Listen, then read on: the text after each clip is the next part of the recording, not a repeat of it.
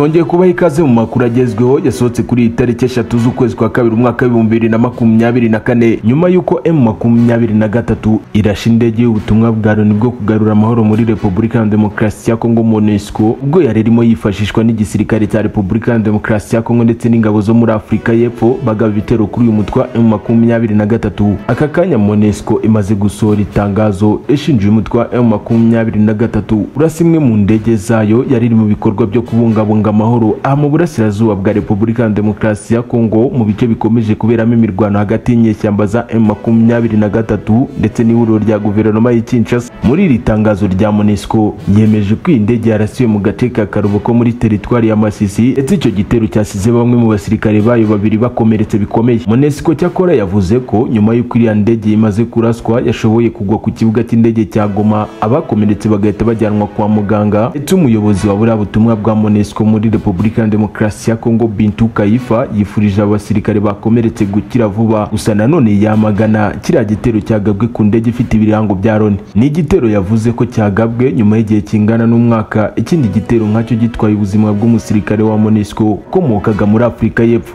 Kayita kandi yamaganye ibindi bitero bikomeje kwibasira abatuye kivu y'amajyaruguru kuva imirwano muri iyi ntara ifashe indi ntera asaba emu makumyabiri na gatatu guhagarika imirwano nta mananiza ndetse no kurambika hasi intwaro hanyuma igakurikiza imyanzuro y'inama ya rwanda yo ku itariki makumyabiri n'eshatu gushyinga umwaka w'ibihumbi bibiri na makumyabiri na kabiri. Uyu mugore uhagarariye monesco yanibukije ko kugaba ibitero ku ngabo ziri mu butumwa bw'amahoro bigize ibyaha by'intambara mbere yo gusaba ubutabera bwa kongo kinshasa gukurikirana abakomeje kugiramo uruhare gusa nta gisirikare cya emu makumyabiri na gatatu kiratangaza kuri aya makuru nubwo bamwe bakomeje kunuganuga bavuga ko igisirikare cya repubulika ya demokarasi ya kongo kize amayeri yo gukoresha bimwe mu bikoresho bya monesco mu kugaba ibitero rwihishwa ku mutwe w'inyeshyamba makumyabiri na gatatu. Yewe izi ndege za kajugujugu zikaba zikomeje gukoreshwa zitunda imirambo n'inkomere yahari kuba habereye imirwano hagati ya emu makumyabiri na gatatu ndetse n'igisirikare cya repubulika ya demokarasi ya kongo gusa nanone mu minsi mike ishize umutwe wa emu makumyabiri na gatatu uherukaga guha gasopo monesco uyishinja kuba imaze igihe yifashisha zimwe mu ndege zo mu bwoko bwa kajugujugu ndetse na drone mu gutata ibirindiro bya emu makumyabiri na gatatu. Hanyuma ugashyira amakuru ihuriro ry'igisirikare cya guverinoma ya kongo bahanganye mu ntambara maze bakabagaba ibitero biremereye.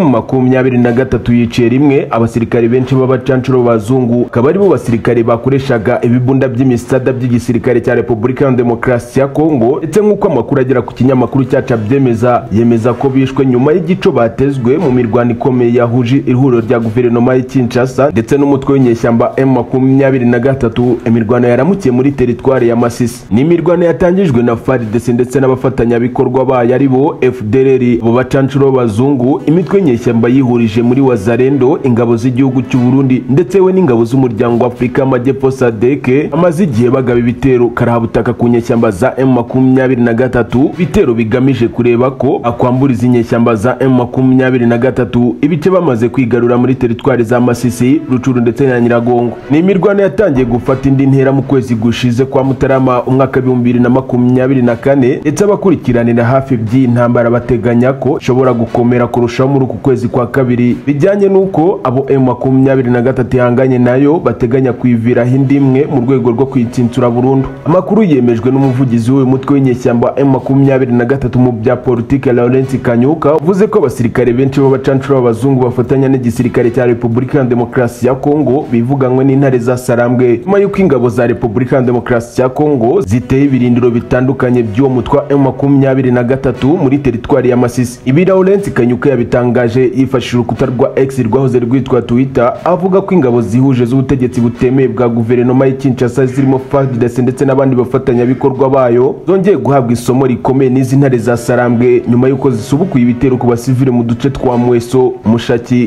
Karuba ndetse no mu nkengero zaho. Ubwo yatangazaga aya makuru kandi yemezaga ko izi ngabo za Repubulika ya Demokarasi ya Kongo zifashishije bimwe mu bibunda bya muzinga ibifaru by'intambara ndetse n'indege zo mu bwoko bwa drone ndetse asoza avuga ko nibakomeza kwishora kuri uyu mutwe wa makumyabiri na gatatu bazakomeza guhabwa isomo nk'iryo bahaye abasirikare b'abacancuro b'abazungu. Imirwano yo kuri uyu wa gatanu ije ikurikira indi mirwano karabutaka yabereye muri teritwari ya masisi ku munsi w'ejo. Ikaba ari imirwano yasize m makumyabiri na gatatu ku ruhande rwayo ivuga ko yigarurira uduce dutandukanye turimo rushoga majagi kabashumba. Utu twose akaba ari uduce duherereye mu birometero bitanu gusa uvuye ahitwa ngugu nk'uko ihuriro alliance fleve congo m makumyabiri na gatatu ibarizwamo. Ryabitangaje. Mu gihe m makumyabiri na gatatu mu masaha y'ijoro ashira igicuku yari imaze gutangaza ko yambuye igisirikare cya repubulika ya demokarasi ya kongo n'abafatanyabikorwa bayo umusozi w'ingenzi cyane umusozi muremure wa kagano. Ndetse akaba ari umusozi wafatiweho bimwe mu bikoresho byinshi by'igisirikare cya repubulika ya demokarasi ya kongo fardc ndetse n'abafatanyabikorwa bayo.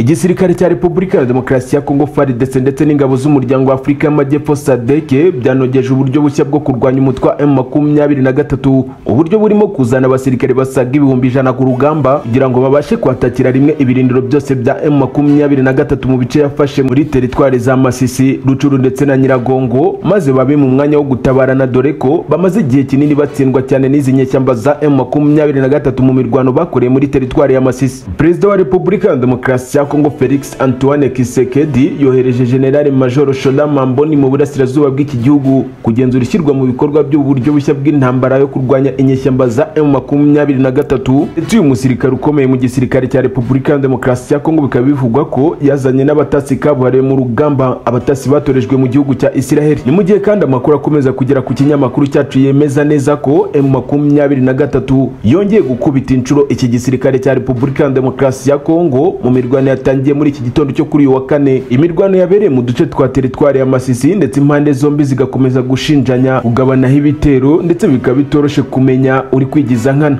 Abanyamakuru begereye leta ya kinshasa biriwe bemeza neza ko imirwano yakomeje kuri uyu wa kane itariki ya mbere gashyantare umwaka w'ibihumbi bibiri na makumyabiri na kane hagati ya m makumyabiri na gatatu na frdc ifatanyije na wazarendo muri teritwari ya masisi baravuga ko amakuru aturuka muri iyi mirwano yemeza neza ko inyeshyamba za m makumyabiri na gatatu zitambitswe bikomeye ubwo zageragezaga kwerekeza muri sake amakuru akomeza avuga ko inyeshyamba za m makumyabiri na gatatu zikimara kwitambirwa n'irihoro rya guverinoma y'i kinshasa zahisemo kwagura ibirindiro byazo inyuma ya mushaki zishaka kwerekeza muri rubaya. Aba banyamakuru bo ku ruhande rwa guverinoma y'i kinshasa bakomeje kwandika ku rukuta rwa x rwahoze rwitwa twitter ko umwe mu baturage bo muri mushaki yavuze ko m makumyabiri na gatatu yateye muri iki gitondo ibirindiro by'ingabo za repubulika ya demokarasi ya kongo irushoga ni ku muhanda wa mushaki rubaya inyeshyamba zigerageza kujya mbere ku ruhande rwa rubaya. Nyuma ziza kwitambikwa bikomeye n'igisirikare cya repubulika ya demokarasi ya kongo ahakikije udusozi twa muremure no mu kwerekeza sake yakomeje avuga ko nubwo uyu muhanda wa mushakirubaye ukomeje gukoreshwa n'amamoto ubwoba ari bwinshi kuko amabombe ku mpande zombi akomeje kumvikana. Ari nako urusaku rw'imbunda zo mu bwoko bwa mashinigani ikomeje gukaza umurego buri wese agerageza kwirwanaho. Nubwo ku ruhande rw'igisirikare cya repubulika ya demokarasi ya kongo batangaje ibi ku ruhande rwa m makumyabiri na gatatu ho umuvugizi wa mu bya politike lawrence kanyuka avuga ko ingabo za repubulika ya demokarasi ya kongo n'abafatanyabikorwa bazo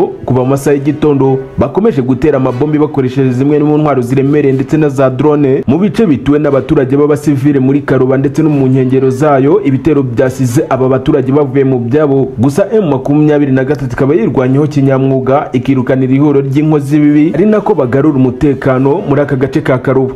M makumyabiri na gatatu yongeye kwica abagize ihuriro rya guverinoma y'i Kinshasa ni mu mirwano ikaze yahuje iki gisirikare cy'inyeshyamba za M makumyabiri na gatatu ndetse n'ihuriro rya guverinoma y'i Kinshasa rigizwe na FARDC imitwe y'inyeshyamba yihurije muri Wazarendo. Abasirikari baturutse mu gihugu cy'u Burundi ingabo z'umuryango wa Afurika y'Amajyepfo SADC ndetse yewe tutibagiwe abacancuro b'abazungu imirwano yabyukiye mu gace ka Karuba aho drone rutura z'intambara ndetse yewe n'ibibunda rutura byasukaga ibisasu bya muzinga mu bice bituwe n'abaturage aha muri teritwari ya Masisi. Nk'uko umuvugizi wa M makumyabiri na gatatu mu bya politike Lawrence Kanyuka yabitangaje yatangaje ko abaturage barashweho bikozwe n'igisirikare cya Repubulika ya Demokarasi ya Kongo FARDC FDLR abacancuro b'abazungu ndetse n'abandi bose bakomeje gufasha iki gisirikare cya Repubulika ya Demokarasi ya Kongo guhangana n'umutwe w'inyeshyamba M makumyabiri na gatatu mu bice wigaruriye mu burasirazuba bwa Repubulika ya Demokarasi ya Kongo